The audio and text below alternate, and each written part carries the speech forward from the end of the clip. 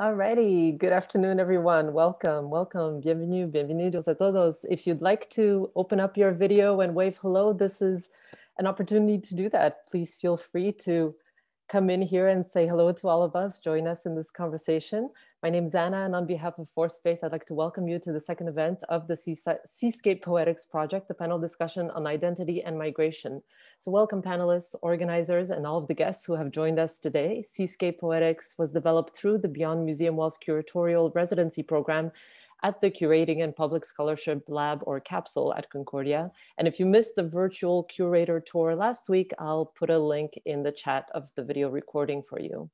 We would like to begin by acknowledging that Concordia University and Fourth Space is located on unceded indigenous lands. The Kanien'kehá:ka Nation is recognized as the custodians of the lands and waters on which we gather.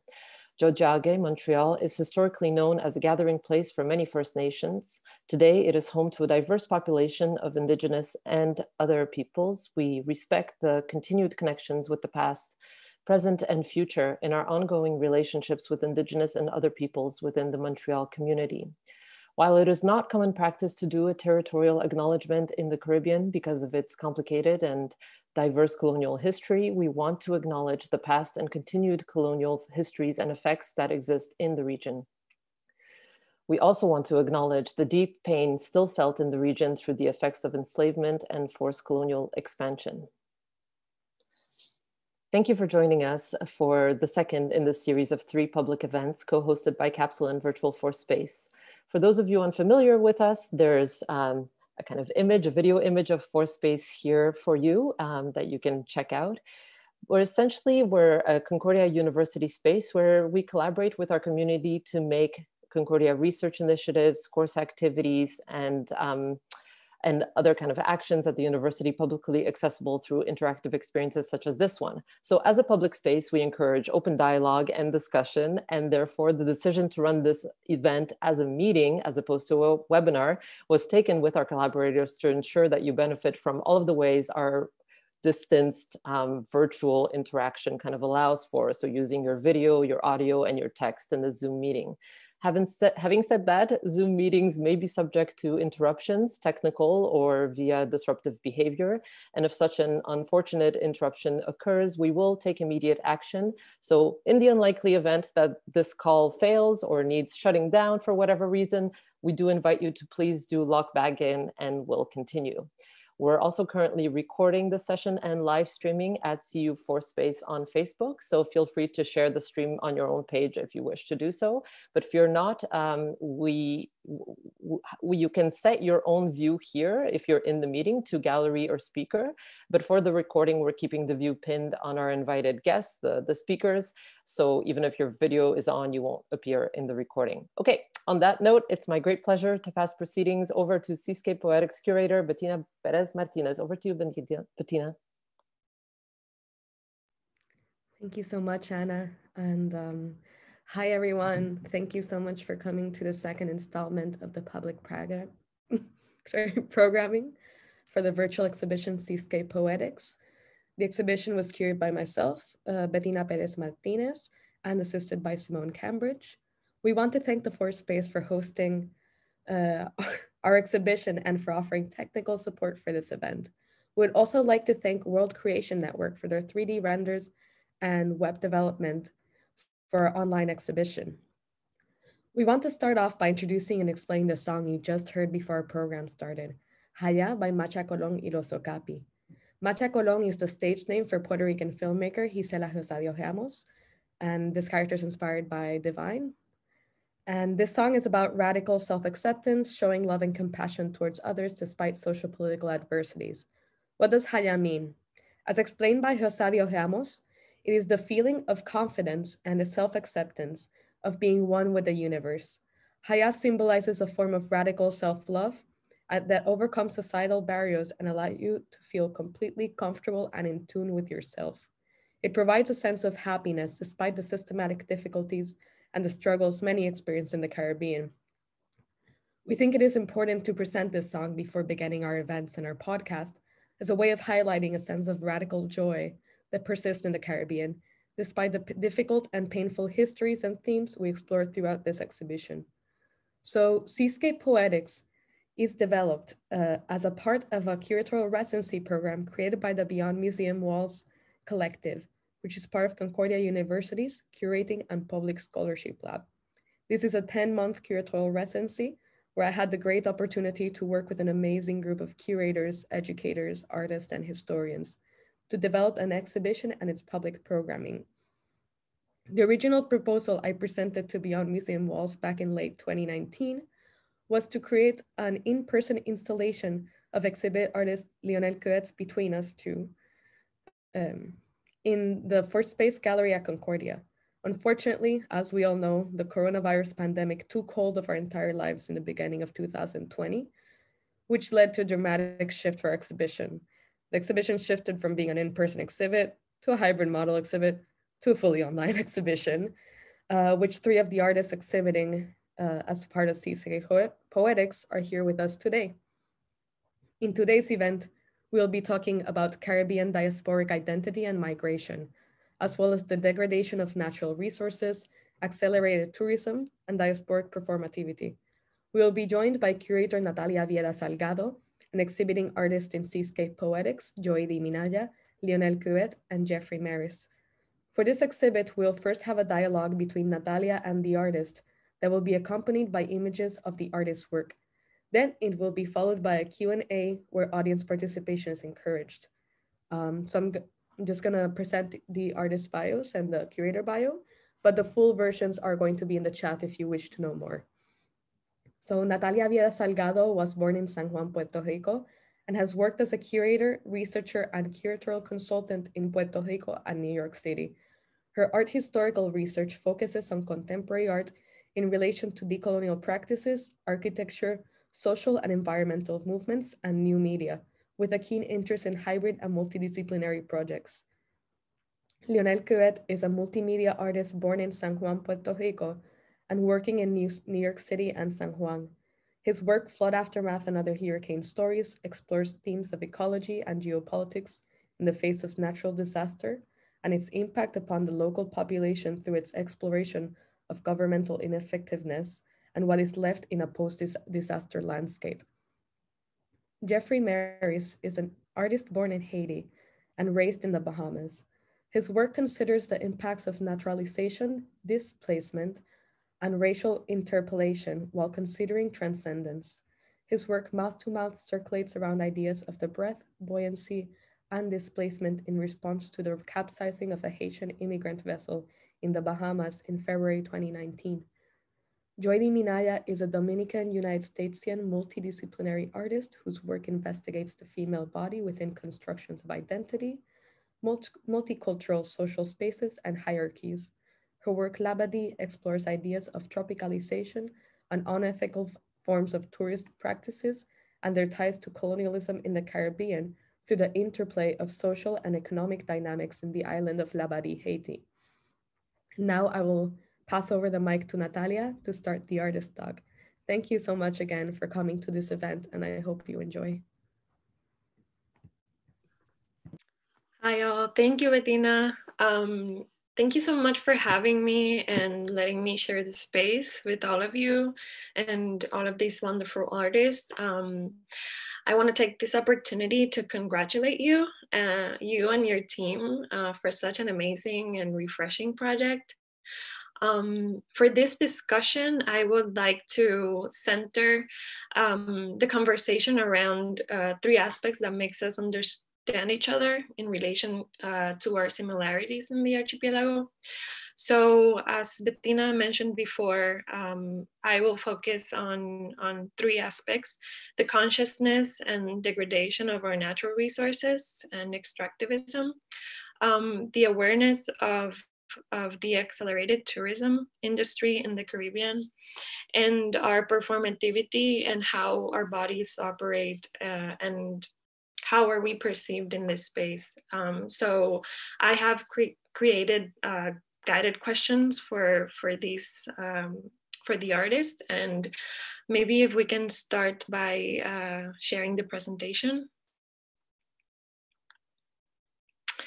and um, yeah uh, for for the conversation i wanted to discuss uh, this question or maybe pose this question on how would you define the Caribbean? And maybe we can start by, um, yeah, talking a little bit more about our uh, different uh, experiences in the Caribbean. So maybe uh, Jeffrey, um, Lionel, and, and Joiri, one of you can answer that question first.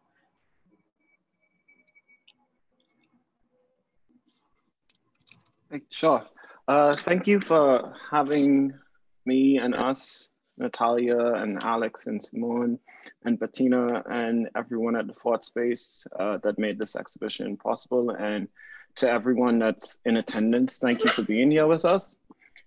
I, I think there's, there's like one, or at least in my mind, I think the most obvious answer for like that I think of when I think of what it means to be from the Caribbean is really our relationship to the water and to the sea. And I think that's both um, historically, geographically, culturally, politically, um, that continues to sort of shape our existence more or less. Because uh, being um, from an archipelago really presents a certain set of challenges right? Um, in terms of in terms of the weather that we all have to feel. Like every year there's hurricanes, like that's a certain sort of um, that's a certain geographic challenge that I think is almost unique to the Caribbean in a lot of ways. I'm sorry. I think that's like a, a challenge that's unique to the Caribbean in a lot of ways. And and um yeah, sorry, I'm starting to ramble. So I think I'm gonna let mm. someone else speak. Yeah, maybe Joiri or, or Lionel want to follow that. Yeah, to piggyback on that, I think our relationship to the landscape and, and nature around us mm. is pretty defining of, of the experience of being Caribbean. Mm-hmm. Um, and then cultural experiences. Like I feel that growing up in the Dominican Republic, I knew what the Caribbean was in theory, but you also are very isolated in in that Caribbean experience. Like you know mm-hmm. that there's these other islands that share similarities with you, but you rarely get the opportunity to visit them because mm-hmm. those same like histories of um, colonization and imperialism have divided us in in ways that continue to um, happen. Like it's cheaper for me to fly to New York than to fly to like Trinidad and Tobago, for example. Yeah, yeah. Um, it will take many more hours and much more money for me to get somewhere that is geographically closer um, because of the ways that, um, uh, yeah, contemporary systems uh, continue to divide us. Um, mm. And then I, I also wanted to mention the Caribbean that I've discovered as the member of the diaspora, because precisely because of that um, isolation that we have geographically, um, I didn't really get to know people like Jeffrey or like, you know, someone from the Bahamas in the Dominican Republic, or uh, we do have Puerto Ricans in the Dominican Republic and we have people from all over the Caribbean and Dominican Republic, but you're just not as exposed to um, these people in the way that you are um, living in New York City, for example, which is like such a big um, diasporan hub for so many uh, locations locations and, and the Caribbean has a lot of um, people here and um, yeah, um, influencing even like how neighborhoods in New York City have been shaped. Mm-hmm. Um, mm-hmm. So it's it's also interesting for me to like expand that concept of the Caribbean to places that are outside the Caribbean precisely because uh, we bring that culture. Mm-hmm. Yeah, I want to also comment on what um, Jeffrey and Joiri just mentioned that um, it is also it is also an experience that um, take us throughout our life and to define um, you know how do we define the caribbean as something that starts from a very early age right? Um, for us it's really uh, it's, it's, it's i will say easier to be able to elaborate um, um, and to be able to express ourselves in regards to this but this comes from an early age right like i think one of the things that helped me to define kind of like this this space and define myself within the caribbean was to understand that i that I lived in an island, right? And to understand that the beach was not that place that we go just for joy, but it's it's our limits, right? And and and and our geographical limits. And to be able to understand that in an early age, I think started to define a lot of things that relate to to my identity. And I guess that's something that we all, I hope, and I guess that we all share too, mm-hmm. right? And there's different there's different moments when you're confronted with this with this reality of like defining what the Caribbean means for us and what what what it is in relation to everything else.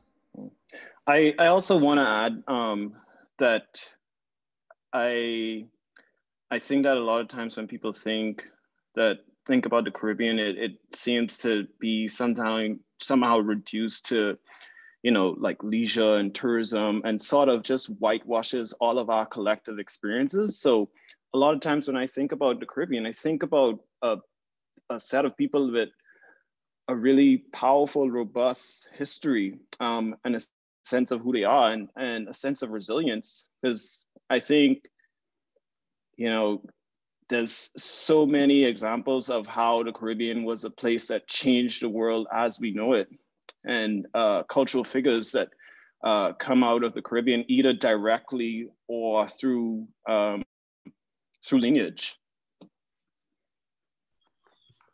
Thank you. Thank you all for your your responses. Um, can we uh, go to the presentation and maybe we can start to talk a little bit more about the works that are presented in the show.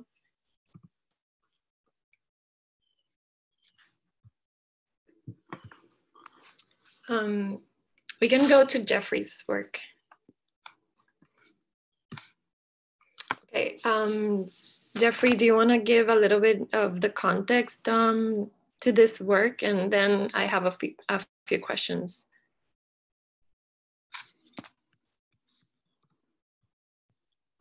Sorry, it's on mute.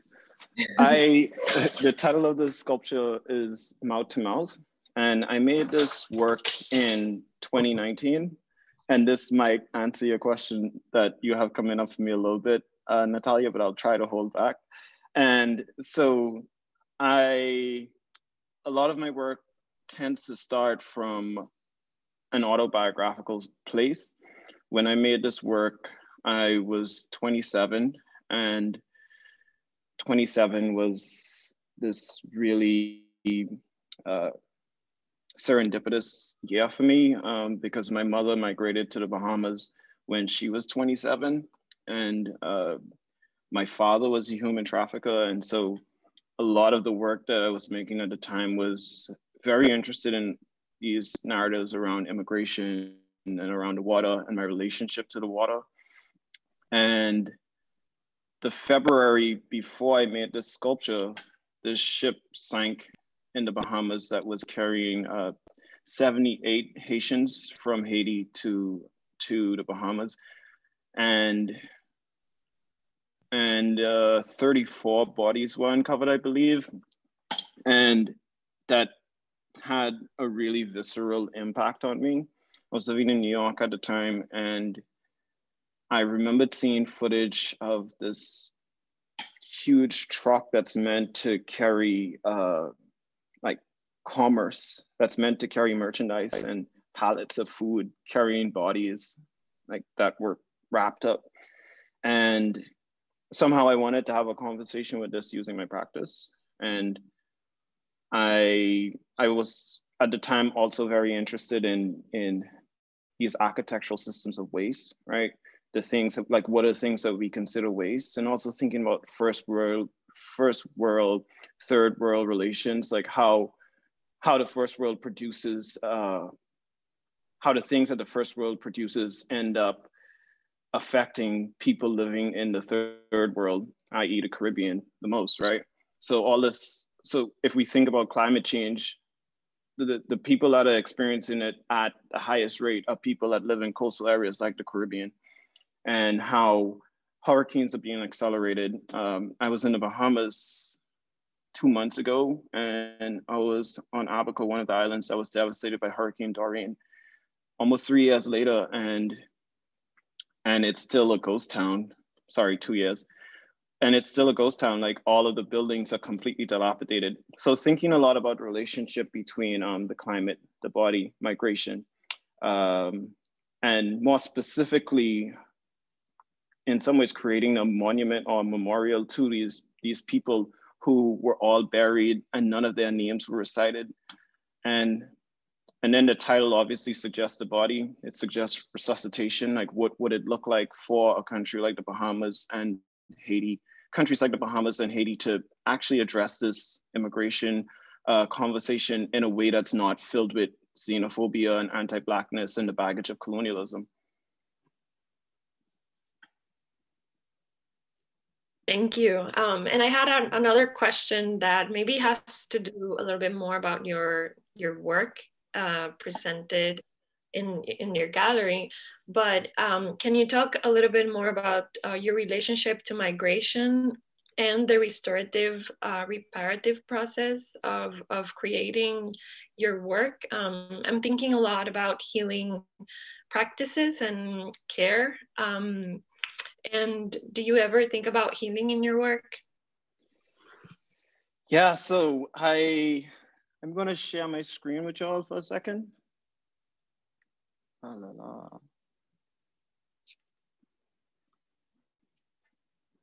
Sorry, my computer is very junky.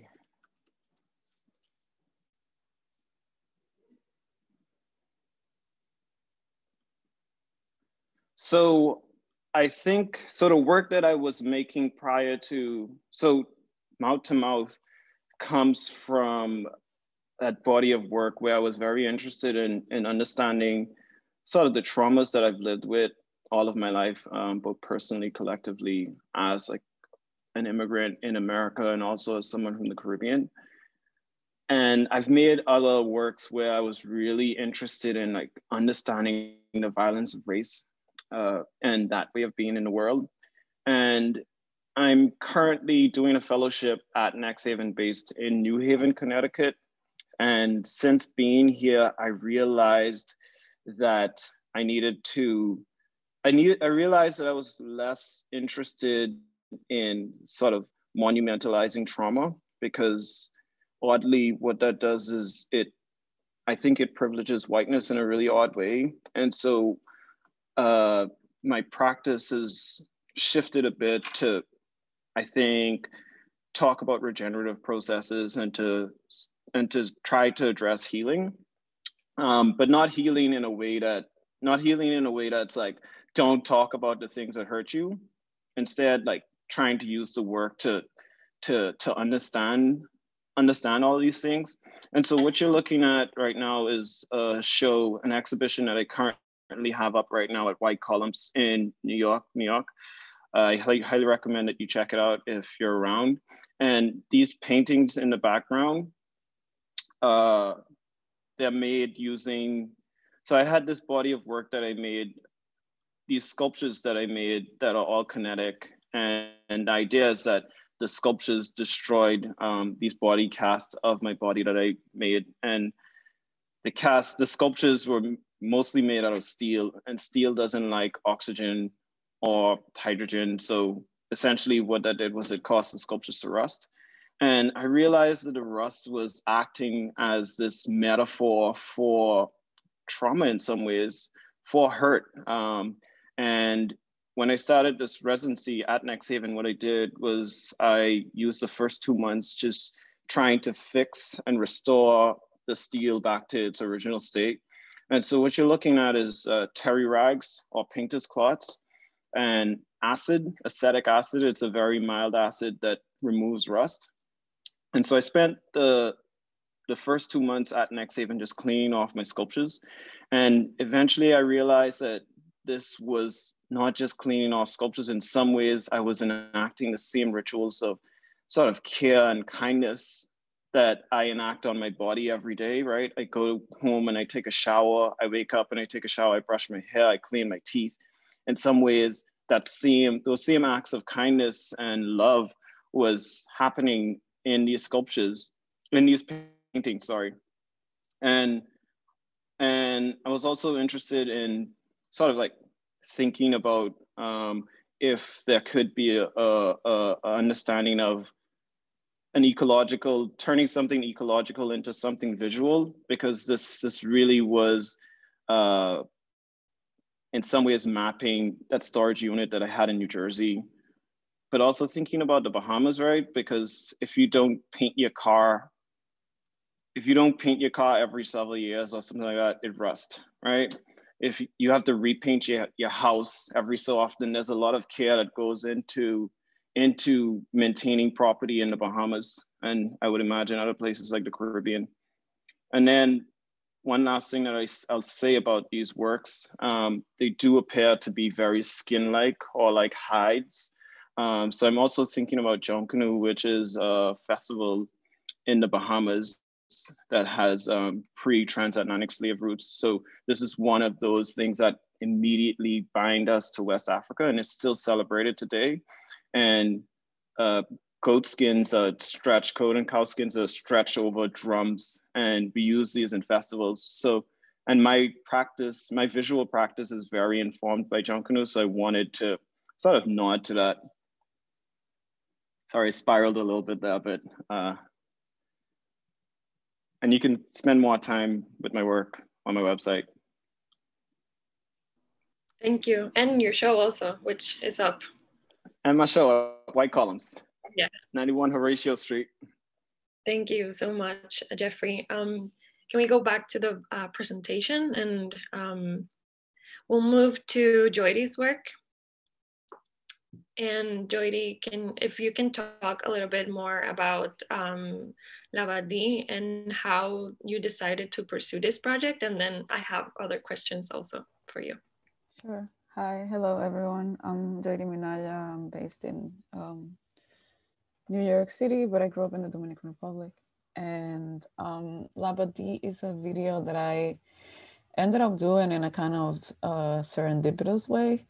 Um, my mom wanted to celebrate my uh, younger sister's quinceañera uh, party in a cruise, which is a thing um, that it's like a service that some companies offer to like do this whole celebration with your family in a cruise. And it's really odd because there's other quinceañeras having their party. So it's like a bunch of 15 year old turning um, uh, young people who um, don't necessarily know each other, but they're all celebrating their birthdays together. It's really strange.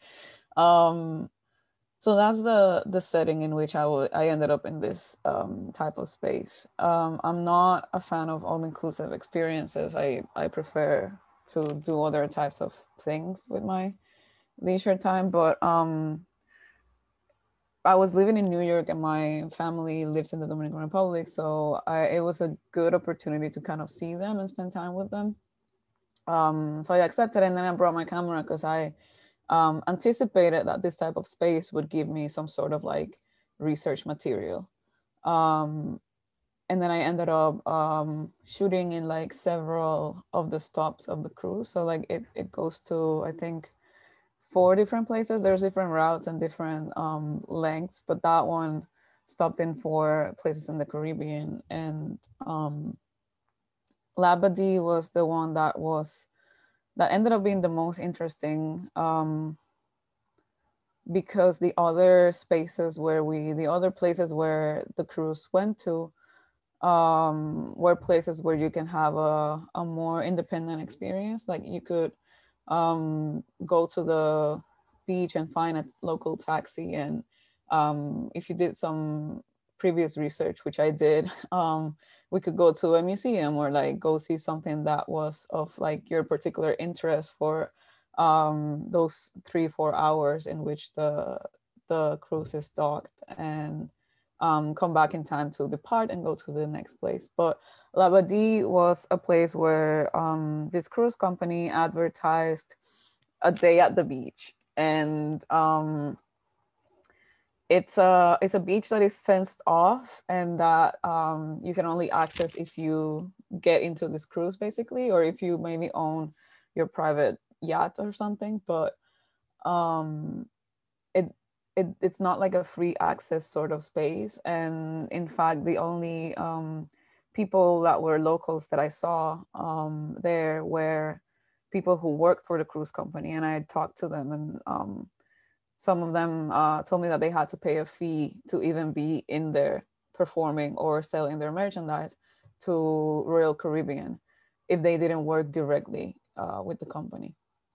Um, so Labadee is a, um, a, a private space that is located in Haiti, and um, I was also thinking about like my own relationship uh, with Haiti, having grown up in the Dominican Republic and being right next to it, but so distant with all of this, um, I guess, historic and um, colonial obstacles that have been placed between both nations. Um, and how ironic it was that I had to like go to Florida to get on a cruise to go to the other side of the island in which I grew up. Um, so those are not things that are necessarily at the center of the video, but those are things that I was thinking about while making it. Um, what's at the center of the video is the the interactions between the tourists and the space around them and the locals who are working inside of this uh, private space and also the relationship of the people who are inside the private space and people who you see outside of the fences and the walls um, outside of this private space and how the people outside are a reminder of how what is this fantasy that is sold in the inside is only a fantasy and that is uh, not sustainable and actually not even benefiting the local people. Um, and what else did I want to say about Labadee? Labadee starts with, it has subtitles that start with um, sentences that I, um, I took from Christopher Columbus's diary in the parts where they were talking about first seeing uh, seeing land for the first time in 1492. Um, and those sentences are paired with um, with footage of the open sea. So it kind of um, has that relationship, but it also brings um, ties into this contemporary touristic experience to that colonial history and um, trying to point out that how those are directly kind of informed or you know directly um, one coming from the other uh, and then at some point in the video it switches to the subtitles switch to mm, kind of narrate or guide the um, what you're seeing in the camera in that moment that more contemporary moment. And and the video ends uh, with subtitles that go back to that colonial relationship with footage of um, people swimming at the beach and um, the subtitles say something like i wonder how many bodies have floated on these waters um, but the sea doesn't keep count. So um, kind of a reminder again of that um, history of extraction slavery exploitation colonialism um, in relation to this supposedly um, you know superficial and uh, innocuous sort of experience. And yeah i don't know if that was a good introduction to the video uh, um, no i had a question about you know your work uh, deals a lot with um, the representation of the caribbean landscape and oftentimes in other works, um, you you talk about this idea of being at the service of the other, um, the tourist. Um, and we think about the tourism industry and capitalist and ne neoliberal practices. How do you think this power dynamics operate from your point of view as uh, someone from the Caribbean diaspora? Yeah, a, a, lot of my work um, outside of Labadee is also considering these ideas of like service and and kind of the labor that is behind maintaining this uh, surface of tropical, um, I don't know, leisurely space and space of relaxation. Um, and a lot of what I'm trying to do with my work is um, kind of embodying those expectations to a certain degree, but in that embodiment, um, insert some kind of strategic agency or some way of taking back or having control and, and showing that control. Or um, some way of deconstructing or fragmenting this um, expectation in a way that the viewer kind of sees themselves probably and, and needs to reflect on like what is their position in relation to what I am um, showing and offering. And um, perhaps you're also Caribbean and you understand these things. Perhaps you are from the global north and then you are in the position of possibly a potential consumer of these things in the way that they are offered. And then you have to like, um, you know, wonder or like meditate on how you may be participating in these industries, how you may be perpetuating some of these dynamics. And um, that's that's what I'm interested in in many of my works, in, including Labadee. Um, I wanted to mention that Labadee was first shown in, in the Bahamas in a show that was uh, organized at the um, NAGB, National Art Gallery of the Bahamas, um, in 2017. And I was excited to show it there for the first time because it, even though it was filmed in um, Haiti, it echoes a lot of the dynamics that happen in a space like the Bahamas, and at the same time, a space like uh, uh, these spaces exist in a lot of places in the Caribbean. So part of the Caribbean experience that a lot of Caribbean people will recognize is also that tourist industry, whether you participate directly in it or not. And um, that's something that we all need to negotiate and hopefully meditate on to shape in a more sustainable and um, equitable and just uh, just way, fair way for like um, everyone who participates in it. Because right now, how it's set up is basically these are extractive companies, extractive practices that uh, benefit mostly foreign people, really, because the owner of uh, the owners of cruise companies are not local. The owners of a lot of all-inclusive resort resorts are not local, and even like smaller boutique resorts that are kind of um, popping up and that are um, kind of like a trend now in around the Caribbean and probably other places that are like selling themselves as more sustainable and whatever. When you go there, it's usually owned by like a French expat or like a, an Italian expat. And then I'm, I'm also curious of this word expat and how it relates relates to the idea of immigrant and why are you not called immigrant but expat, but whatever. Um, but the thing is like it there's still like this um coloniality that seeps into um you know contemporary spaces in a way that we're not always um critical of Thank you. Thank you so much, Joiri. Um, and now we can uh, go to Lionel's work, or you can show a little bit more of, uh, yeah, the work for anyone interested um, and who haven't hasn't seen the the exhibition, um, you can go and uh, experience it yourself. Seascapepoetics.com, um, I think I believe. Um, so uh, yeah, Lionel, can you talk a little bit more about this work and um, and um, I'm I'm talk a little bit more about how uh, your understanding of, of these forces in the Caribbean, and I'm talking about environmental, colonial, systemic, um, and how all of these forces have informed your work um, in relationship to the Caribbean landscape and uh, the production of space, which is something that you are always um, interested in. Yes, um, thank you, Natalia, and thank you everyone for being here and for um, you know listening to our dialogue and to our presentation and looking at our work.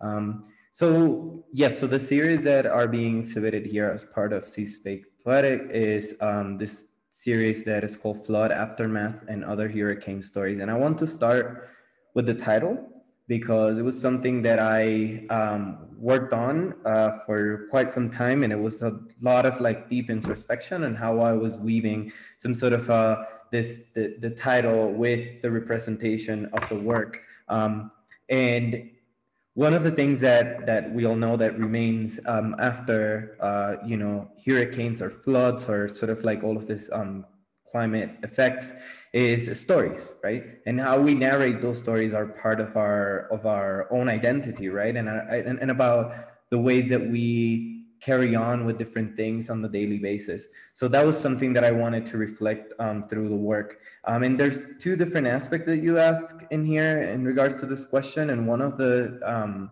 one of the asp- one of those is is is uh, I want to uh, focus it specifically on the politics, and the other one on the on on the natural environmental um, aspect, which both of them um, are considered with the work. And when I when I uh, when I talk about uh, politics, of course, is something that um, touches upon this ideas of like um, just uh, public politics and how how people work within those active spaces, and um, that is in a way like worked within the representation, but also more more in the specific with the materials that are being used. So when I was creating uh, this series, this series started in 2015 and was part of a research project that I was doing um, while I was attending this residency program. And um, I was working with all of these archival images and talking about this ideas of like, uh, you know, this narrative of disaster that people talk about um, and, and, and focusing in this natural events as, as right with this narrative of disaster because people focus in what they have lost, right? Instead of like the, the emotions and all of the other aspects that are the myriad of aspects that relate to to oneself. Um, and I am from Puerto Rico and living through different hurricanes and floods and all of these things, you're at the mercy of of of, of this natural um, effects and this natural cycles. And understanding those is, is, is, is also something that is reflected to the work. But back to the to the idea of the material, um, one like the decision on painting on top of this of this uh, blue polyethylene tarp is because uh, I wanted to make reference to this political act that exists when you know when natural disasters happen, and this happened in Haiti when the um, when the earthquake happened, where you know they deployed this like massive amount of, of blue tarps to people to sort of construct this temporary spaces uh, to live and to shelter themselves. But at the end of the day, this this is not something that is for an immediate. This is something that happens immediately as a as a as a uh, yeah as a as a fast sort of response. But then it becomes something prolonged, right? Like just you you have this landscape of of a temporary sort of uh, architecture and shelter spaces that are that are created from this you know this material, this blue tarp and the same thing happened in Puerto Rico after Hurricane Maria. And when I started this series again was in 2015. Hurricane Maria happened in 2017. And when I was creating this, it was very conflicting for me uh, right after that because I was tied up with a lot of um, emotions that was happening, specifically, you know, to narrative and things that relate to my family and to people that I knew. And I just stopped creating the work. And that's why there's only from 2015, there's only four pieces that were made that are slightly different from these ones. And then in 2020, starting on 2020, I started sort of um, looking looking at it again and re-engaging not only with the material but with the imagery. And this one I wanted to focus instead of having this house is sort of stranded in the in the in the landscape, wanted to work with this idea of like this landslides or sort of like this this grounds or this landscape that seem to be um, unstable. So part of the imagery touches upon that.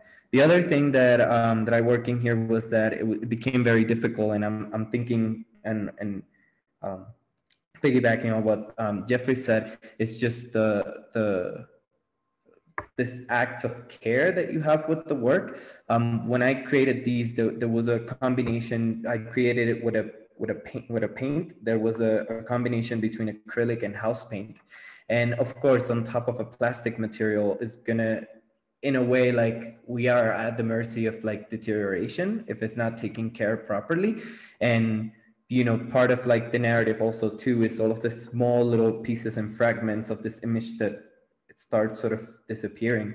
And this this parts of, of the materials and the um, the, the materials that are being used were carefully thought. I do a lot of research, very profound research that takes an extended amount of time to choose the material so it's not in the imagery that is projected it's not something that is just like um, a, a one-time emotion it's something that i really um, think uh, the other aspect that we see here in terms of the image is this um, sort of illuminated spaces that are inside of the structures. And i think about this in a in in both in a in a in a in a in the in a way of in the way of how the image was created and in the aesthetics of it, but also in a more conceptual way, just thinking about all of that um, energy that lies within this shelter spaces. And and you know energy also talking about just power and the lack of it or the the absence of it so creating some dynamics between that is something that i was that i was definitely interested i don't know if i answered the question but i went into a lot of explorations here no, you. This is great, Lionel, and uh, thank you for sharing all of the the aspect of creating the work. Um, but I wanted to ask a question for all of us, because I think that we've talked, um, or we've touched upon the idea of the Caribbean landscape, but um, I wanted to ask about what is your relationship to water, to the three of you, um, because I think it's a an important topic um, in this exhibition and also by the fact that we are so like you know we're separated from our countries and how i mean for i can speak for myself um, and you know how important water is for me as a um, you know if you think about healing or you know other uh, practices but yeah what is uh, what is it about water or what is your relationship about um, with water? Okay so i can go. Uh, i so while i was in grad school i realized i was making all of this work in and around the ocean and the sea and the water and the black people, you know. And I thought to myself during a studio visit, and this is going to sound kind of ridiculous, but it's going to make sense. And I thought to myself during a studio visit, like, this is kind of it, it's it's it's it's fake, right? Because I'm making this work around the water and I don't know how to swim. And I, the following semester, fall 2018, I took a swimming class at Columbia and I was the only grad student in that class. And it was all undergrads and then mostly junior, senior year because at Columbia, in order to get an undergrad degree, you have to take a swimming class. It's like some weird Ivy League BS unless you're an engineering student because engineers build bridges. Uh, so I took that class every Monday and Wednesday. I'm not the best swimmer in the world, uh, but I learned how to swim while I was in grad school in New York, even though I'm from the Caribbean. And I think that's I like as funny as that is, is a sad reality to it. There's so many I, so many people from the Bahamas that don't know how to swim, right? We, we're afraid of the water. My mom never took us to the beach because she's afraid of the water. And maybe that might have something to do with like, you know, our historical relationship to it. Um, maybe that has something to do with access to beaches, right? Um, I know in Haiti, for instance, and I think that's why Joiri's piece is so powerful. You know, unless you're wealthy, like a lot of the beaches even there's no there's not really a public beach you have to pay to go on the beach and right and one of the poorest countries in the western hemisphere what does it mean then to make a country of millions of people pay to go to the beach right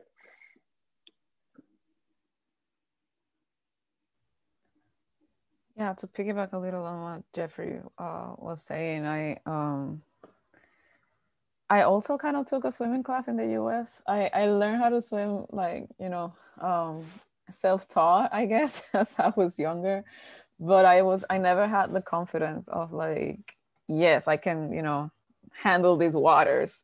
Uh, until I took that swimming class. Um, but I, I, I did grow up with access to to the water, and um, that's interesting to learn about Haiti. I've I've heard something similar from other places. The Dominican Republic has a strange, like gray situation where like you do have public beaches, but like they're usually not taken care of very well.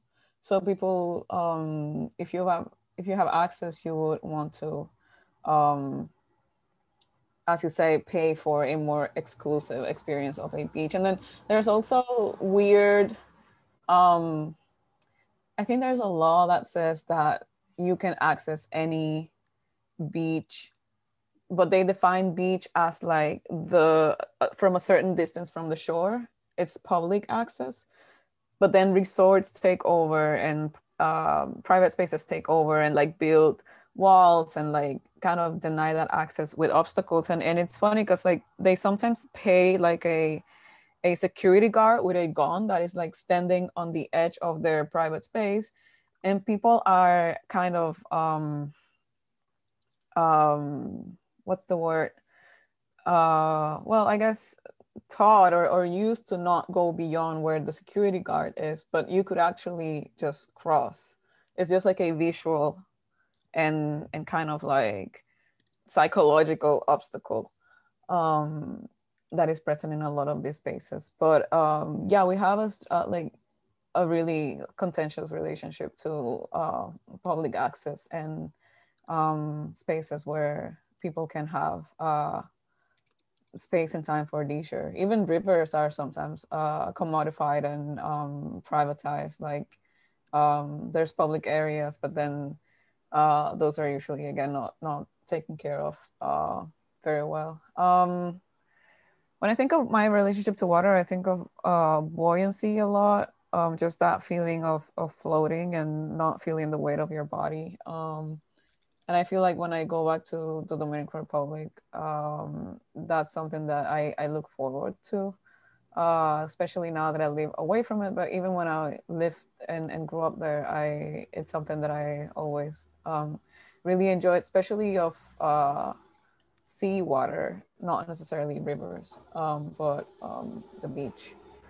And um, I think maybe subconsciously that kind of seeps into my work in a way or another. I mean, Labadee is obviously very obvious, the relationship to water there and how that um, has to do with like, it's looking into um, colonial history and, and contemporary tourism. But um, in other works, um, there's this like vast field of blue that kind of gets repeated throughout um, many of my works. And I think that is thinking about that um, landscape of the water. And um and it's also like if you think of caribbean landscapes it's either green or blue. It's either water based or uh flora based um and that's like a super you know um superficial way of like um kind of uh uh what's the word portray yeah portray maybe the the caribbean space but um flattening is what i was uh, thinking about uh flattening that but it's it's also like a continuity uh across time from like where you have like this explorers um prints of like etchings of describing landscape to what we sell today in um, tourism advertisement. It's, it's usually tied to either waterscape or landscape. So that's also interesting. That is like super present, even if you um, don't necessarily have access to water uh, to the degree that you wish. It's, it's something that is visually present, even if you don't even live near water. Yeah, and then I want to continue with also what both of you said. I think um, I mean, uh, my relationship to water can start from something very scientific. And one of them is that, you know, there's an origin, there's an end, and there's a cycle, right? And those, um, water is extremely politicized. And it doesn't matter if we're talking about a river, if we talk about just, you know, the, the, the ocean or the, or the beach, it is completely politicized because that's our natural being, that's our natural selves. And I think um, this is not maybe a condition that is only specific to one place. This is something that has become glo- of global concern. And um, we, in a way, like, in a way, the, the, the understanding of all of this is, is, is what is the, what is our relationship to water? There's people that think about water as leisure, water is something that gives us life, water is something that is lacking or that is available in some places. And then I'm very, very interested about that, about those relations that that that water as an as an element creates. Um, but I also it it automatically makes me think that the, of course like the the the there's a relationship between a river between the origin of a river to whatever comes out in the in the in the beach right? Um, and this sometimes take like miles of like rivers or sometimes there's shorter distances um, and it's an ebb and flow. There's a there's a there's a cycles and systems in there and that is something that is really beautiful and that's where i start my relationship with it. Um, there there is also uh, we create our own emotional relationship to water right? Between one that is extremely forceful that can definitely kill you but one that is giving you life as well because we are part of it.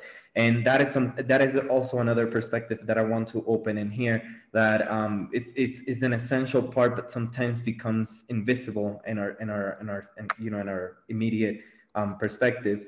Um, and also we have also in, in created an invisible system behind the ways that we um, utilize water on our daily basis right? We don't we don't know sometimes like where this water goes out to be filtered how do we use it how do we consume it how it comes back and sometimes these things are extremely um, obscure sometimes are more transparent um, but it's extremely politicized and i like to see water my relationship to water from that you know point of departure. I think is a way to to to understand it better um, and also to understand what happens what happens around it.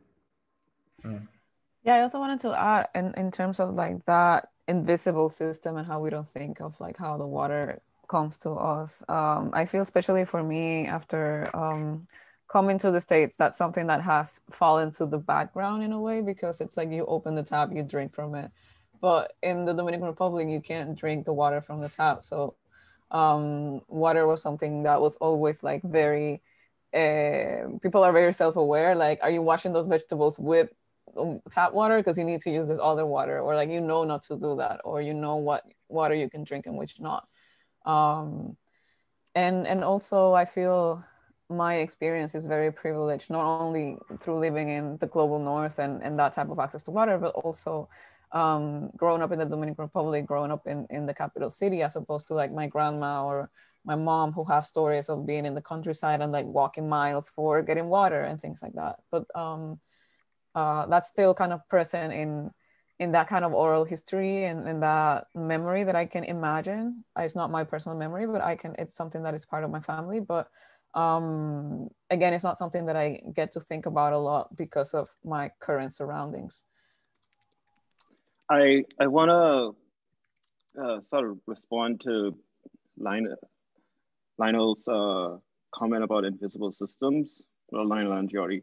I mean, this has less to do with water, but um, when I when I was making the installation of mouth to mouth, one of the things that I was actually thinking about was um, how waste disposal is like this invisible thing. It's almost like you know you put your things out on the street, and hopefully tomorrow morning you don't have to look at it, right? Uh, it like just the privilege of of um, i mean that that has a lot to do with government and taxes and all of these other things but i really was thinking about i think for me um, plastic as a material sorry i'm shifting away from water but plastic as a material um, when i was thinking about the things that i grew up with in the bahamas right the sort of signifiers of what it meant to be um, from a low income neighborhood in the bahamas oddly one of the materials that at the time stood very true to me was plastic. Um, and that's kind of, that's really sad actually. Uh, thinking about how we didn't have running water in my home and you would have to save the water gallons that you would use for milk and orange juice and all of these other things suddenly those things become reused and that's how you store water. Um, luckily, I grew up in a country where the water that the government provided was portable. Um, and so you would go to these public pumps and fill up your water gallons. So thinking about that relationship in, in connection to how in New York, these things are being put out on the street at night and, and um, either someone's gonna come and collect that and try to sell that for for a little bit of money or it just disappears. And if it does disappear, where does it end up?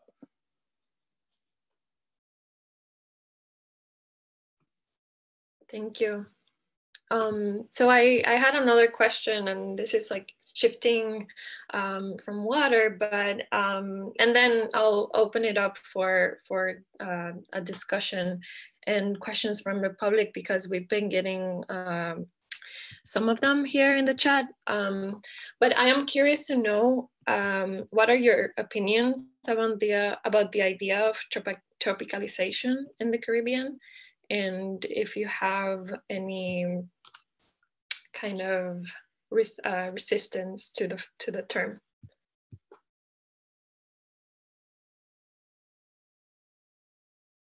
I I definitely have some resistance to the term, um, and um, and I've expressed that through previous works because um, I feel it it's often uh, utilized for for this like superficial um, again flattening of of identity to make it commodifiable.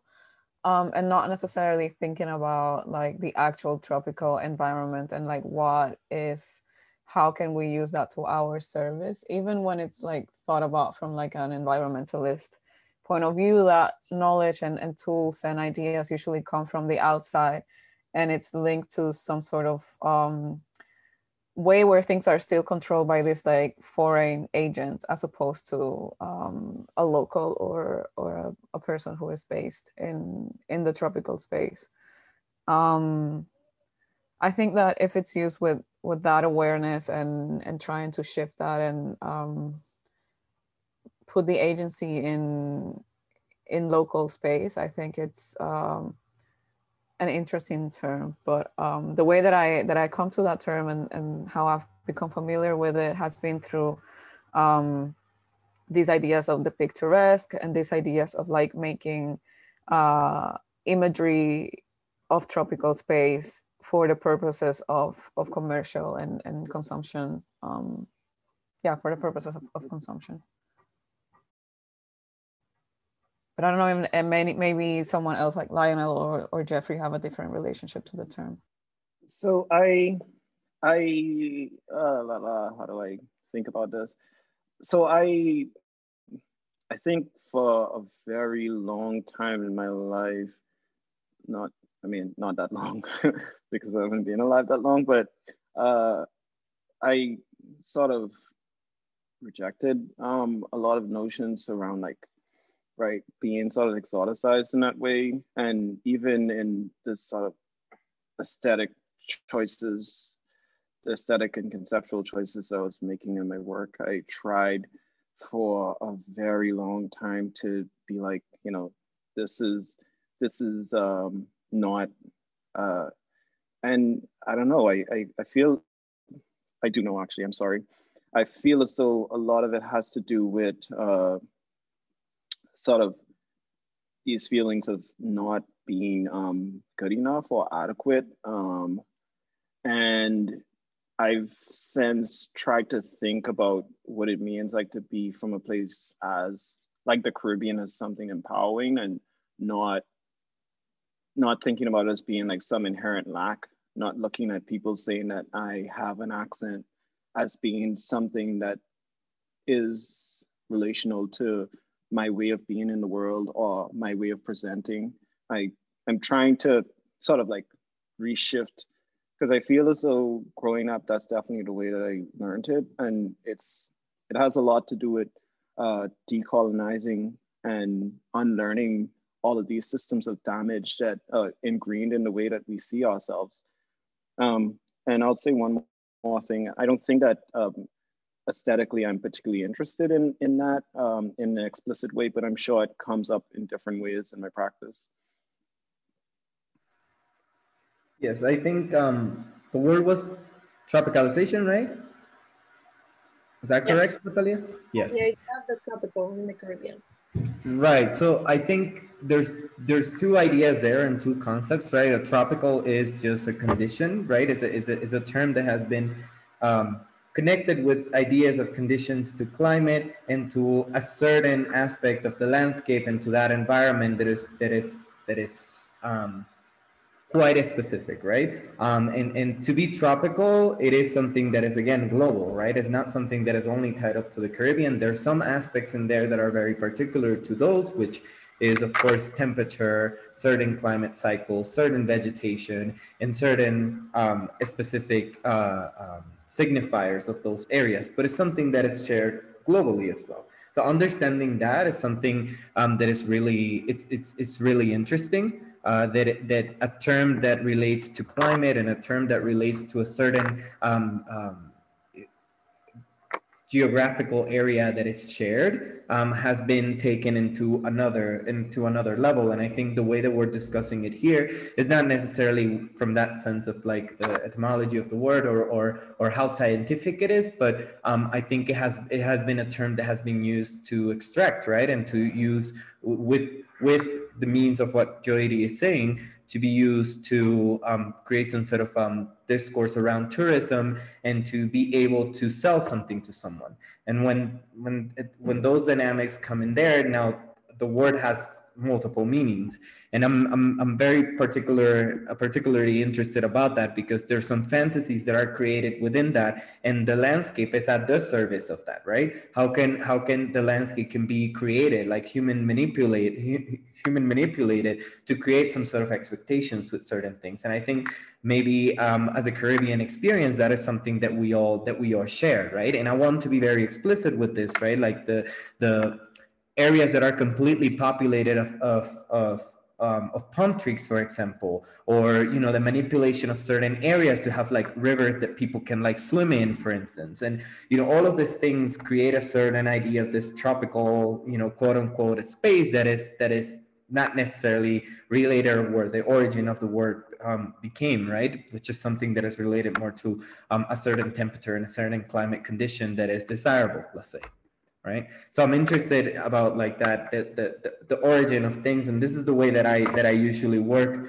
When i embark with like a project i like to think about um, words where they come from what they relate how pe- what people understand um, now what people understand before and how that relates to our current our current our current situations. And and and this term of tropical um, has been is, is is of interest definitely because it relates to these ideas of us seeing um, our, last, our um, landscape and our relation to it. And I'm interested about that.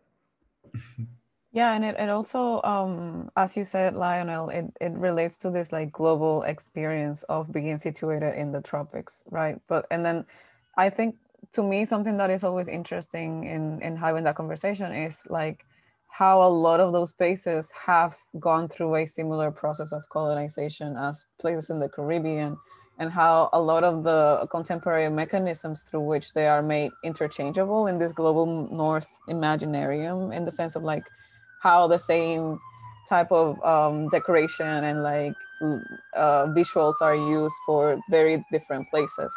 I think it's an extension of, of that colonial history. And i think it's interesting that it all goes back to that tropical um, condition as you say.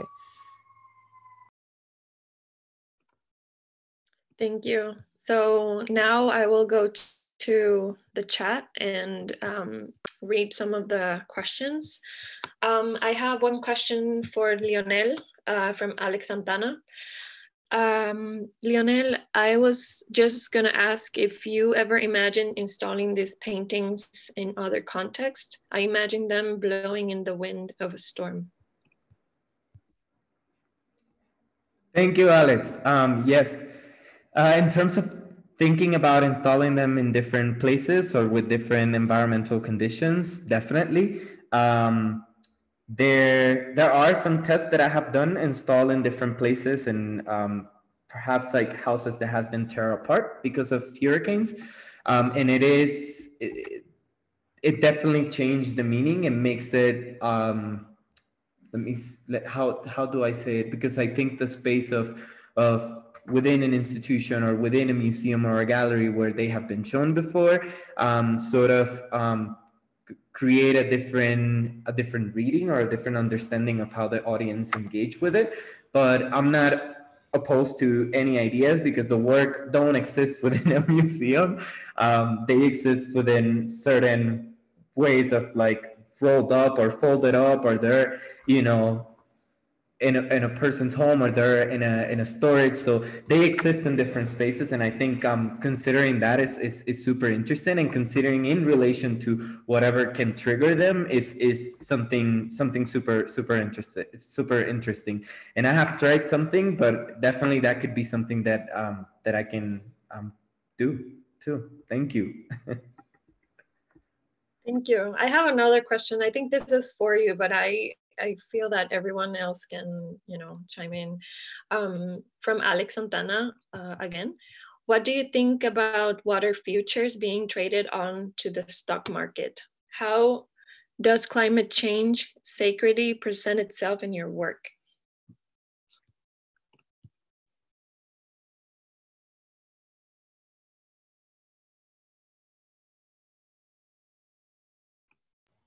I think the stock market situation is terrifying. When I read that, I was like, what on earth is going on? Um, I don't I don't have further thoughts about that. It's just like, what is the world coming to?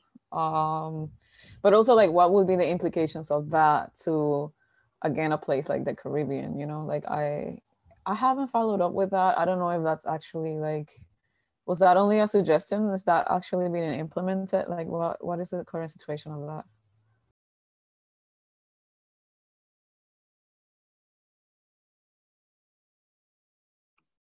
Thoughts? Uh, if not, I can uh, follow the next question. I I I I, I want to just say really quickly. Um, I also do not. I uh, I mean, one of the things I'm trying to be more conscious of is financial literacy. Um, because I think too often artists, uh, we like to be like, my job is to make art I'm not going to talk about the money, right? Um, right now, I'm not in a position where I could speak about the stock market or more particularly water stock market, but I could say that um, just personally, I think it's unfathomable to be charging people for water. Like I think that should be illegal. Um, uh, I I really uh, yeah, I don't know. I don't even like buying bottled water because I'm a cheapskate like that. Uh, but I think in terms of uh, climate change and how I think my work is in conversation with that, um, like it's proven that climate change is producing um, this sort of influx in in people that are just looking for a safe place to live where we won't be terrorized by natural disasters and other effects. And yeah, that's something I think about consistently in my work. Sorry, I'm not so eloquent with that answer just now. Uh, Alex said uh, she wants to clarify she doesn't care about the stock market and she just meant like how they can profit off scarcity um, and I wanted to quickly say, like, I I also don't have a lot of financial literacy, as Jeffrey says, um, and I don't understand the entire implications of that. It just sounds very scary. But also, when you put it like that, and like benefiting from scarcity in terms of water, growing up in an island where all you drink is bottled water, it's like we're already conditioned to mm-hmm. that. Like, there's no way that we can drink tap water. So for many years, and I don't know what's the history of bottling water in the Dominican Republic, but for many years this has been the case at least for my whole life. So maybe if i compare it to that it's not such a foreign idea. However it's still very scary.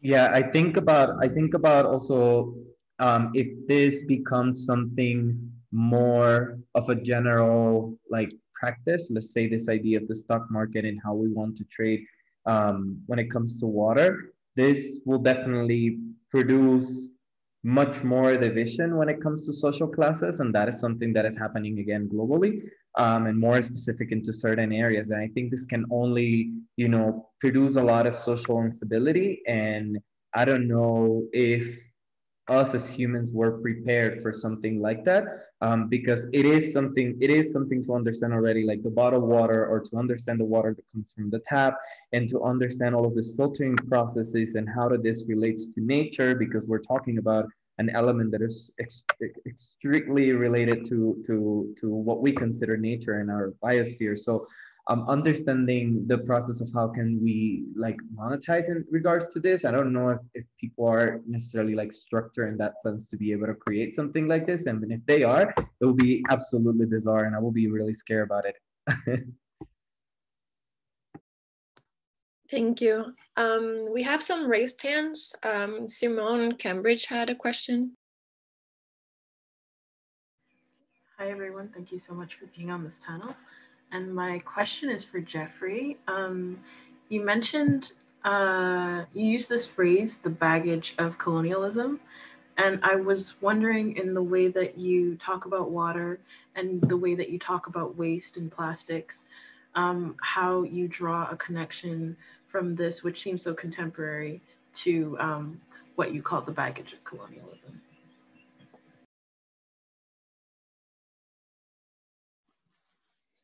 Right.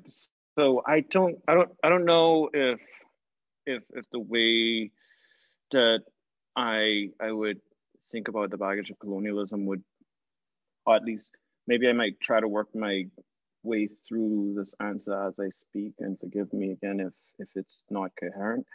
But when I think about the baggage of colonialism, I think um, like some of the most immediate things that come to mind is is is all of these sort of micro um, wars that are happening into national inter island international um, as someone that grew up of Haitian ancestry in the Bahamas like I I I I think I think of xenophobia of classism of anti-blackness. I I think of all of those things as being like those are things that we learned from the colonizers, and uh, how do we sort of navigate, or how do we, or for me, how do we uh, sort of unlearn that, and how do I stop seeing a Haitian and forgive me, how do I stop seeing a Haitian as all of the things that I learned that a Haitian was growing up um, growing up as a person in the Bahamas. Sorry, I'm. This is like a really touchy subject for me. So, I mean, but but when I think about the baggage of that, and and then also being in America, right? Um, you you have this certain narrative that of what it means to be a black person in this country, right? Anti-blackness is at an all-time high, um, and yeah, like I think all of that, it, it it's it's all tied back to the way that we've been taught. And education is a colonial uh, a colonial institution for the most parts both in america and in the in the caribbean. So in my practice like those those are things that i think i'm grappling with all of the time but at the same time not trying to center it just in the heaviness of that. Um, something that I've been thinking about uh, over the last year and some changes, this idea of levity. Like how do I move towards that space? Thank you.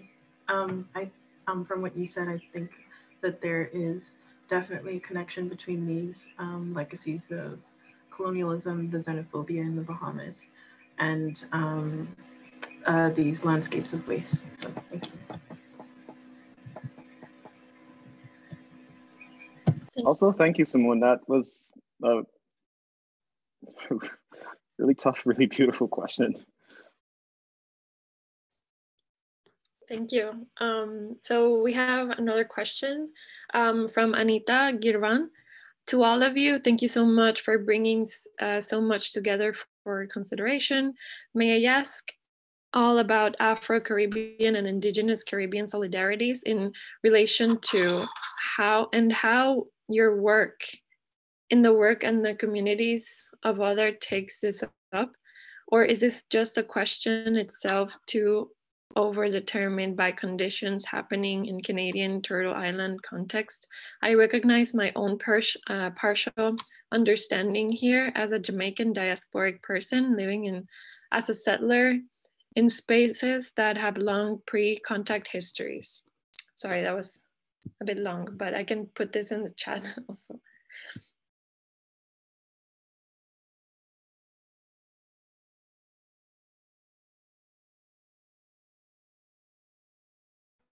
I can uh, speak about that a little in relation to my recent work. Uh, although I've been using a lot of this like superficial um, tropical pattern design that is uh, prolific in like touristic spaces in not only the Caribbean, but in other uh, tropical spaces. Uh, for a while in my work, I started recently designing pattern design um, for applying it specifically for uh, to a series of um, public space installations where I'm wrapping uh, colonizers' monuments. Um, and then the patterns, I don't know how, I still haven't figured out how to think about them individually, but so far I'm, I'm, I've been applying it to that. Uh, but the patterns that I've been using for, for that series has been uh, designed by me and kind of in response to this other type of pattern that um, uses the same type of flora, the same type of um, signifiers for many um, different places. Um, and instead of doing something like that, I'm doing research into like uh, ethnobotany, which is the, the way that people relate to plants in a local um, space.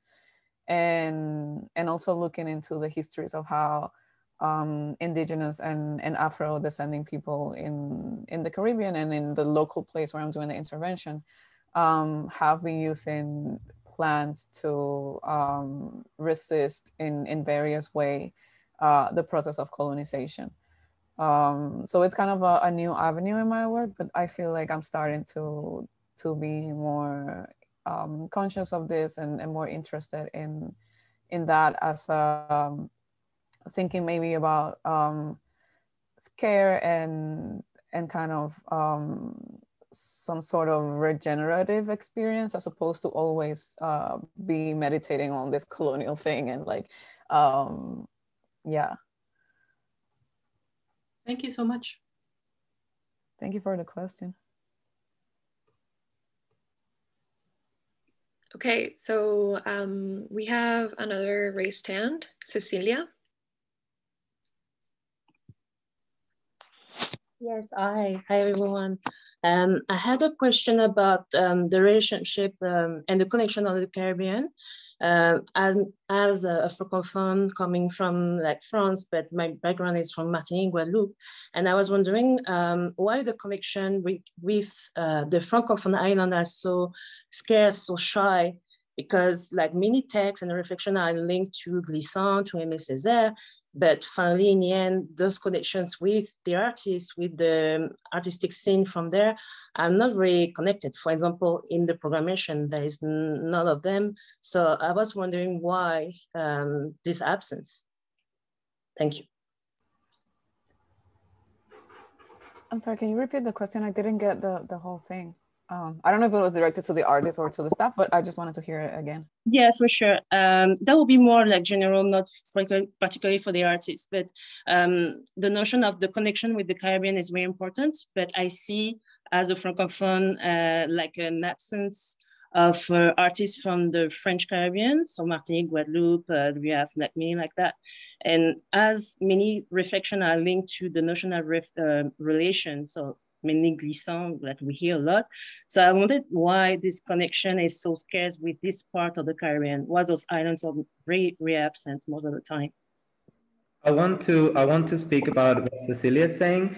I actually understand exactly where you where you come from. It was great that you were able to um, present the question again. Um, and this is something that I'm extremely interested. I think uh, first there's something political again between all of the islands in the Caribbean and our identities and how we have been formed, right? Because of that past colonial imperial um, relations that we have. But um, it is something, um, it is something definitely to discuss. And I can speak about myself and my own work. I definitely have revised some of the things that Glissant has wrote, some of the things that Césaire have wrote. I have made tributes to um, their work very explicitly um, in institutional spaces and in the academia, because I think it is essential to understand not only ways of seeing things, ways of relating to to to our environment to our own people to our own selves as communities beyond everything else and um, i think their their their offerings that they have done um, to the larger discourse has been extremely essential, right? In people like Derek Walcott, for example. So it is something that transpires. I think um, I don't know if we have had the context in here to be able to speak more directly about our references, for instance, but um, it is something that has been there. In terms of how artists perhaps are represented in this selection, that is something that I think it will be um, more within the curatorial team of the selection um, of the exhibition. But as it regards to my practice, it is something that is that is definitely um, right up there, right? Tom, uh, Miss, Miss Thompson as well, who have been of reference to um, my understanding of like my own work and how I speak about it. So it is, it is, it is in there. You know, it just depends on how it depends on the forum and it depends on the questions that we are being asked to bring those things into into the discussion. yeah, I I also want to add. Um, thank you for that question. I I think that that that was a very beautiful observation. I also want to add that um, my I I think I try to speak from a space of duality almost because just as much as I am from the Bahamas, I also think of myself as being very, very culturally Haitian if if if the idea of nation um, holds true to whatever that means. Um, and that's a very francophone um, perspective to, to sort of exist in. And I also like Lionel, uh, I I I really think that um, a lot of these series sort of run throughout this work. For instance, something that I've been thinking about in my work is like the right to opacity. Um, and that is like Glissant 101. Uh, because I was making all of this work around the body and using the body in this very literal way and trying to trying to address um, what it means to be a person in the world in the way that I am um, in works prior. And if you look behind me, um, I've been making these abstractions and they come from a very figurative space. I think about them as being figurative drawings, um, figurative drawings, uh, these drawings that were once figurative that are now abstract. And in a lot of ways, I think that is borrowing again the language of Glissant. Yeah, I agree with all that too. Like I think uh, Glissant um, and uh, Frantz Fanon and other Martinican thinkers have been like very uh, Césaire uh, have been very inspiring to uh, a lot of my work, and especially to like put into words an experience that um, even though they frame it as uh, coming from their um, specific experience in Martinique, is very Caribbean and it's very like easy to recognize oneself as someone who grew up in a different island into this experience. So I think that's why we're interested in in those languages because it, it kind of um, is very effective in communicating something that we've also experienced and and share that interest.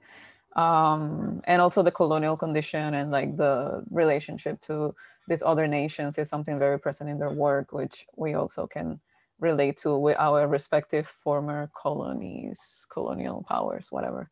Um, yeah, and I don't know if the the curatorial, you know, um, situation. I think Bettina has her raised hand, but um, I wanted to say uh, Montreal is a, is a French speaking place, and I assume already has a relationship with a francophone Caribbean.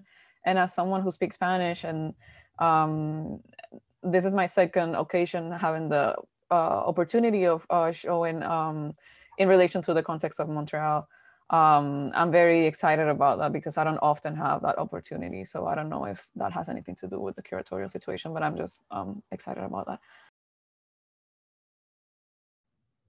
Yeah, thank you um, for that question, Cecilia.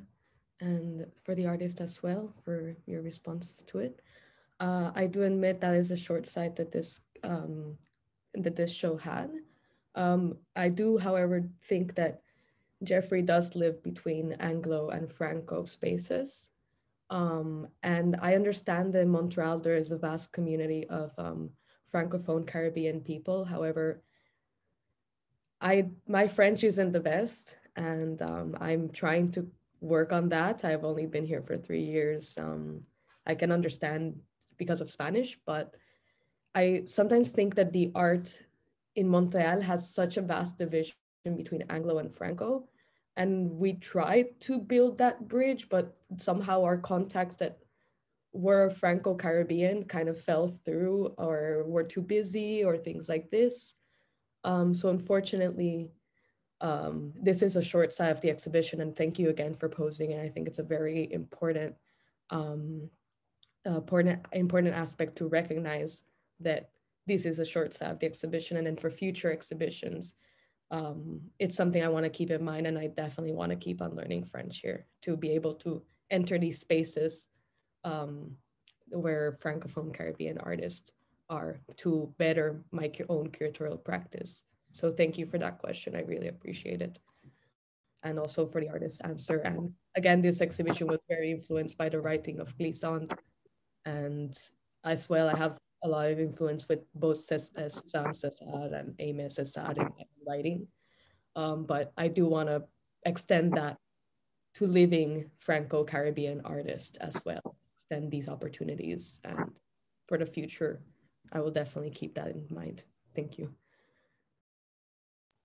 And I think Olivia is from Jamaica, but isn't she? I think she she operates in in a French speaking um, circle as well, right? I, I she's I know she was um, in the audience, so I don't know if she wants to like write a comment or something, but no, um, she left. But yes, that's true. But as Bettina said, like there's complexity of the language here.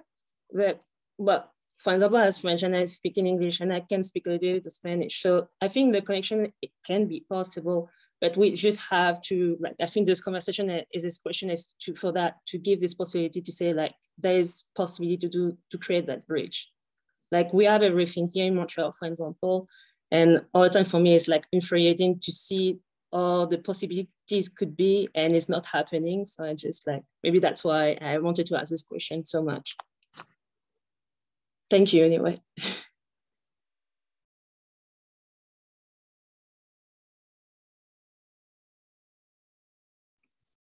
Thank you, everyone. Um, I'm not sure if we, we have more questions. Um, I think this is your last time. so let us know.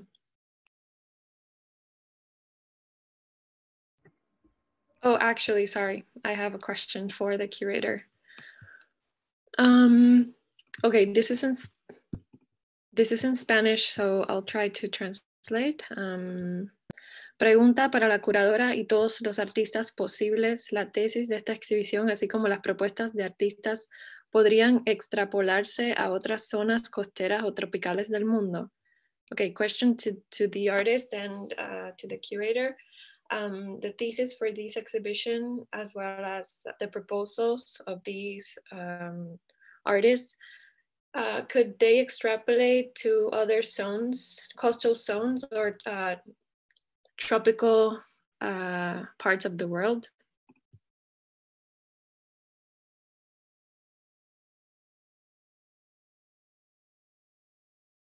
Um, is it okay if I, I go first or? Um, pues muchas gracias por la pregunta, Donald. Este, entiendo, well, I guess I'll answer in English, sorry. I understand that yes, um, at least like because we are talking about relation with the landscape and relation to water and relation to diverse histories um, that water can hold.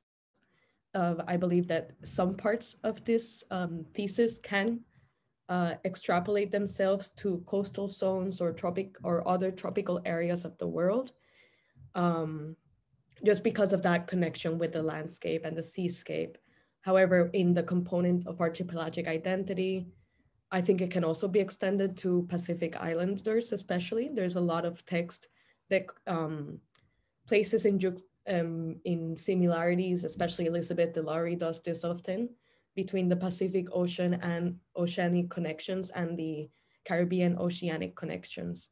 So that's a very good question. And I think that um, there's like, there are similarities and there's uh, research that can definitely like contribute to this notion of extending coastal and tropical relations more expansive than just the Caribbean. And um, I'll leave this to the artist as well.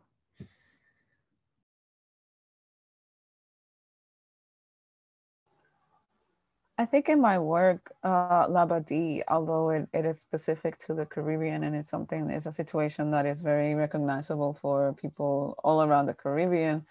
Um, I think because of the things that we discussed when we were talking about tropicalization, how this identity, this tropical identity uh, is, is linked to um, landscape, but we also share in many instances, not everyone in a tropical zone, but a lot of um, other um, islands and other spaces have a similar history of uh, colonization and and that process and and um, the relationship to modernity also um, is similar than ours. I think that it would be I don't know if extrapolate is the word word, but I feel like if you take this show and you show it in that context, in that country or in um, that community, there would be uh, identifiable um, um, aspects, and and the work is going to speak speak to them as well.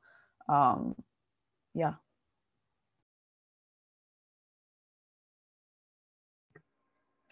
Yes, thank you. Um, thank you for that question. I think um, I think uh, thinking about the zones and thinking about the, the dialogues that can um, happen or that can spark if those works are presented into other spaces is something that you know sounds interesting but it could open up a door for and of possibilities and and and, and also dialogues and discourses that can um, expand i think the the even even the interpretations of the work. And i think that is what art does at the end of the day, right? Is is is is right there with a certain symbols, aesthetics, decisions that are being made for people to decode. And I think those are possibilities that can be um, seen and and i can imagine a scenario where those dialogues like start happening and spark some sort of like discussion and it ha- has happened presented presenting at least like the series of work that I presented here, the flood aftermath and other hurricane stories to people that are not necessarily related to these environments and um, without also the tropical zone that we that we are talking about and without the this context of the Caribbean. And it's quite hard to understand what the work is about. And I've been confronted with questions like, you know, is that a canvas that has been painted blue, for instance, or you know, is is the image just like you know, and, and so on. And, and lots of different questions that definitely are based on on on the perhaps the the lack of that reference but i think if we are within a certain time zone and within a certain historical past of, of colonial imposition and and and other conditions i think it can open up a door for possibilities that are that are interesting i i i think i want to echo uh, Joiri specifically with my response here. I think although when I made this this mouth to mouth, I was really thinking about um, uh, the, the perspective of these phenomenons from a very Haitian Bahamian lens. Uh, the, the, for me, what was interesting was the fact that you can almost uh, replace Haitian or Bahamian with X country, X country, and a lot of the ideas that I was thinking about in the work would still stand true. Um, and really thinking about Kofi Annan and how how immigration and climate change, those two things, the relationship between those two things is um, uh, the, the, biggest threat to the world um, as, as, as a race of people.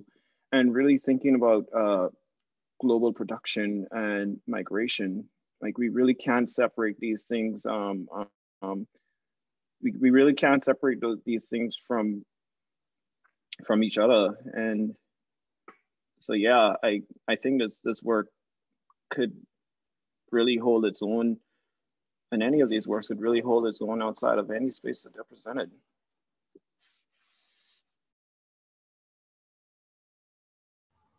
Uh, I wanted to say, Lionel, you should uh, see if you could show your work in India. Actually, they have like a, a relationship with this like blue material. There's a, a lot of roofs that mm -hmm. are like covered with this. And I don't know if that's a, classified as a tropical space, but I was just thinking of like other places where uh, that could be an interesting dialogue, perhaps. I don't know.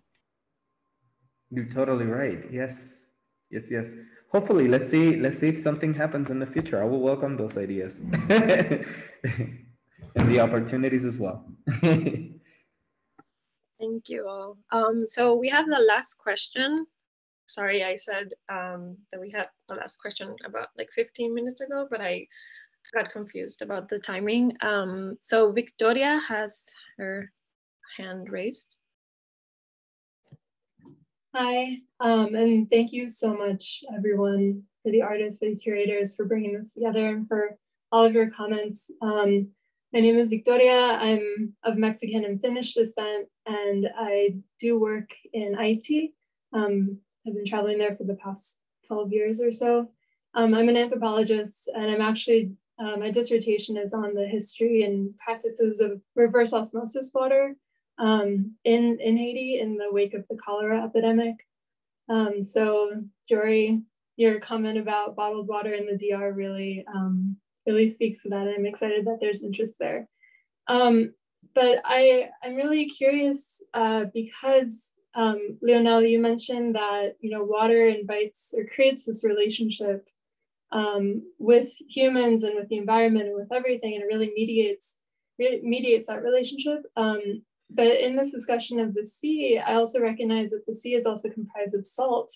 And so I'm curious, you know, in your works or in your how you interact or or relate to these seascapes, how salt might also arise. Um, I know in Glissant's work as well, he discusses salt uh, quite significantly and has many poems about black salt, um, or in his collected work of black salt. So um, yeah, I, I'm mostly just curious and really grateful. So thank you. Thank you, Victoria. Um, let me see. Uh, so definitely, definitely the, the, the water in the ocean is very particular, as you mentioned, because of the salt and there, yeah, there's an understanding um, of that. I think as it relates to, to, to me, I want to tie it up specifically to the work. Um, I like how how this natural process and um, in observing it from a scientific perspective, how you know like um, salt can be able to be something almost invisible when we're in water and how it becomes something more tangible when it's um, um, inland and i like the relationships that are observed in those spaces. And in particular like i have a i have a I have an, an installation artwork that is based on this photographic archive. It's called an speculative atlas of the caribbean. And i definitely have used some of the images of like from of salt banks and um, salt that is deposited into some of the coastal areas and into into plants and to the into the flora. So it is something that I think is is is, is intriguing, um, and it's certainly uh, very significant into into into the way that we perceive this landscape. Um, I don't know if I answered your question, but definitely um, is something that is that is right there. Yeah.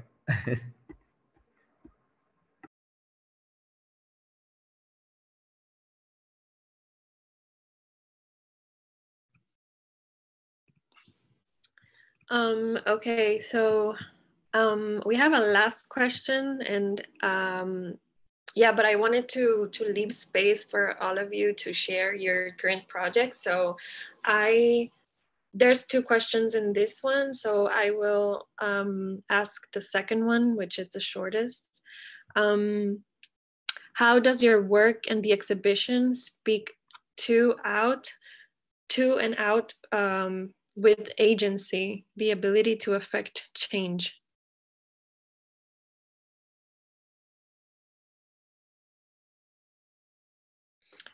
Affect change.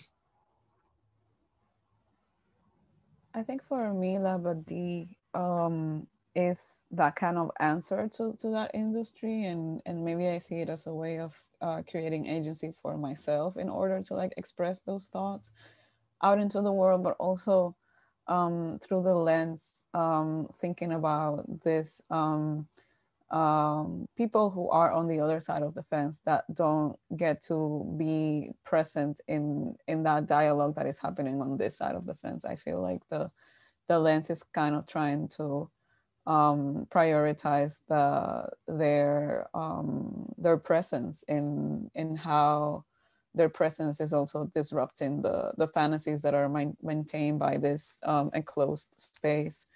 Um, that's how I think about agency in in, in that specific work.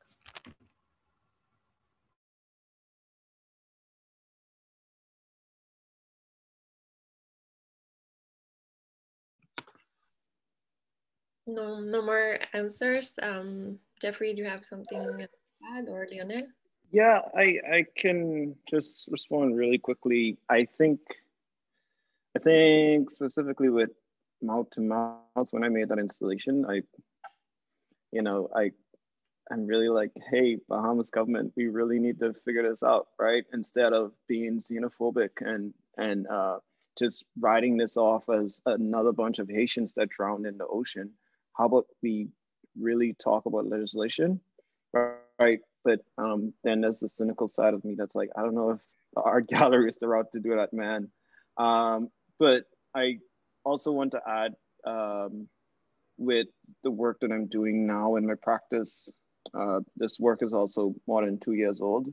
Uh, so the way that I think about agency now is um, through a lens of care and self-awareness and not being so and care and self-awareness in the sense that uh, the work that i'm interested in right now is about collective speculation and thinking about futurity right? Because so often when we think I, I think it's important to to sort of posit this as like we we have a future. It's not just about the things that hurt us in the past but looking towards um, that space where we'll all be well together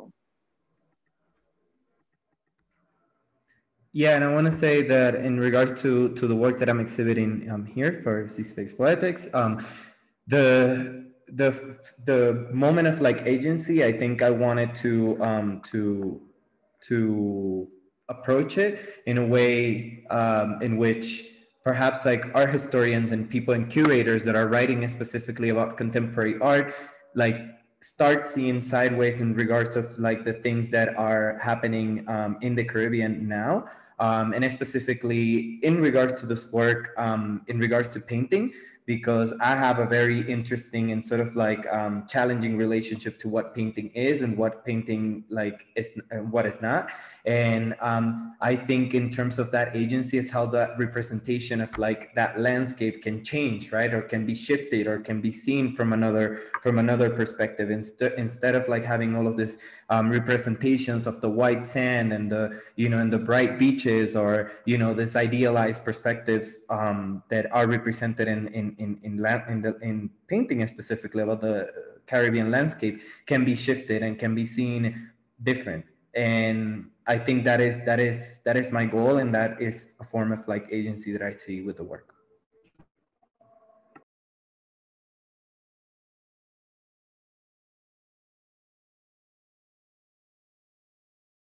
Thank you. Um, so I think we are um, begin. Um, we're just finishing the the presentation, so I will hand the mic to Bettina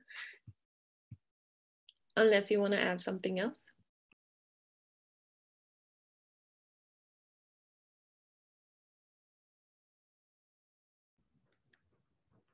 Okay. Um, yeah, so I want to thank all the panelists and Natalia for facilitating this conversation. It has been very great to spend this time with you and hear more about your work and your future projects.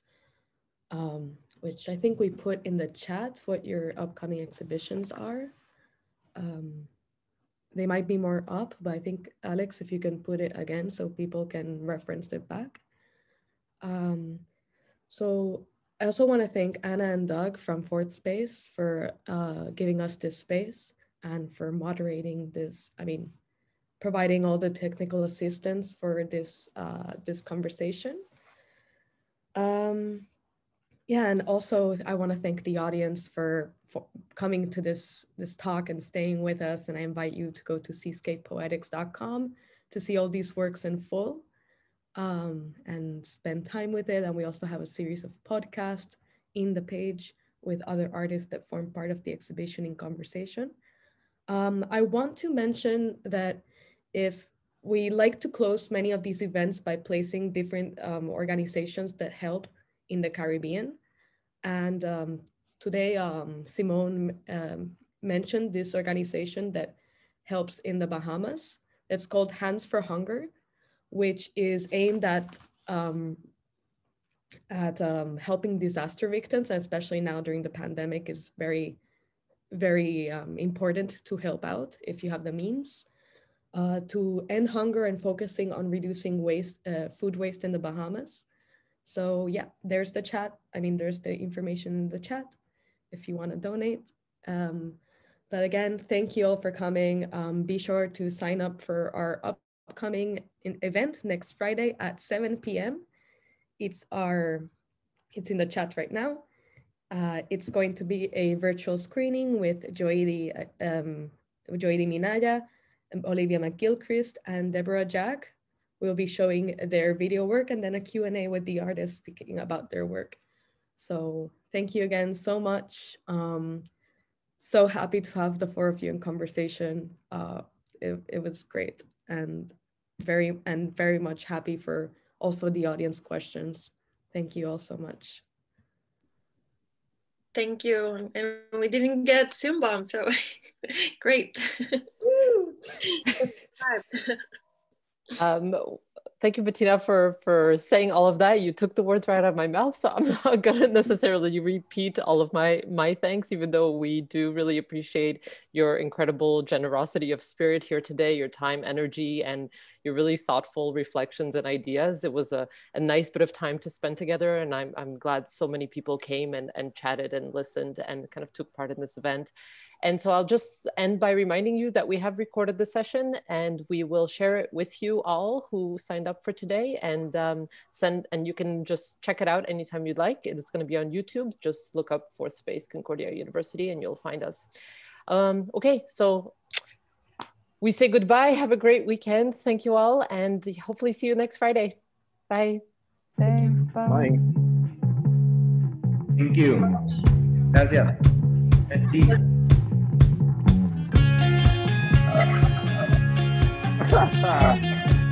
Bye.